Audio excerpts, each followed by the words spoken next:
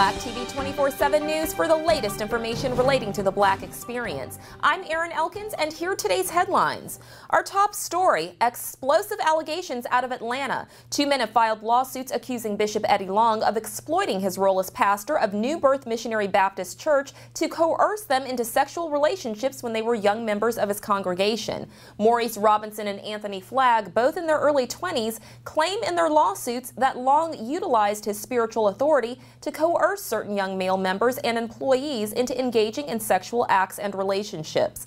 The suit claims the congregation is likely unaware of the practices, but it also says church money was used to foster the relationships. This is at the church, which reinforces how how absolutely negligent and wrong and abusive and sick for a pastor to abuse these kids in this way.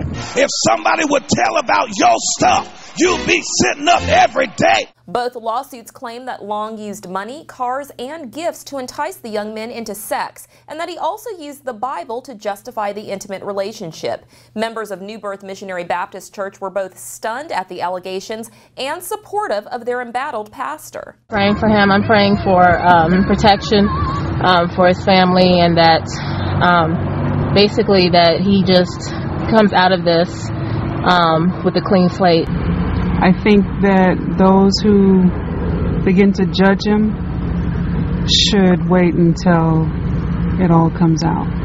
He's not that kind of person. Well, based on what I know, he's not that kind of person. Craig Gillen, Long's attorney, said the pastor categorically denies the allegations. Long was appointed pastor of New Birth in 1987 when the church had 150 members. Today, New Birth sits on 250 acres, has more than 40 ministries, and over 25,000 members. Cairo. Al Qaeda's North Africa branch claimed responsibility in an audio message broadcast for kidnapping five French nationals that disappeared in the deserts of Niger. Seven foreign workers were kidnapped from a uranium mine operated by the French company Areva and were last seen headed toward the neighboring countries of Mali and Algeria with about 30 captors before vanishing in the vast desert. The message said fighters from the group overcame security in the area and kidnapped five French nuclear experts and said it would issue its demands to the French government shortly. France said it will do everything it can to free the victims, but declined to specify whether they were considering military action. And that's a look on the international front. And now, sports and entertainment. A spokeswoman for Aretha Franklin says the legendary singer's son has been severely beaten at a gas station in Detroit. Gwendolyn Quinn says in a statement that Eddie Franklin was attacked and has undergone surgery at a Detroit area hospital. The statement says three people may have been involved in the beating. No other details were forthcoming, and Detroit police say Mr. Franklin has yet to give them a statement. Eddie Franklin was a suspect in the 2002 fire at Aretha Franklin's million dollar mansion in Bloomfield Township. He was later cleared and never charged in connection with the fire. Reports say Franklin has been released from the hospital. Let's pray that he makes a full recovery.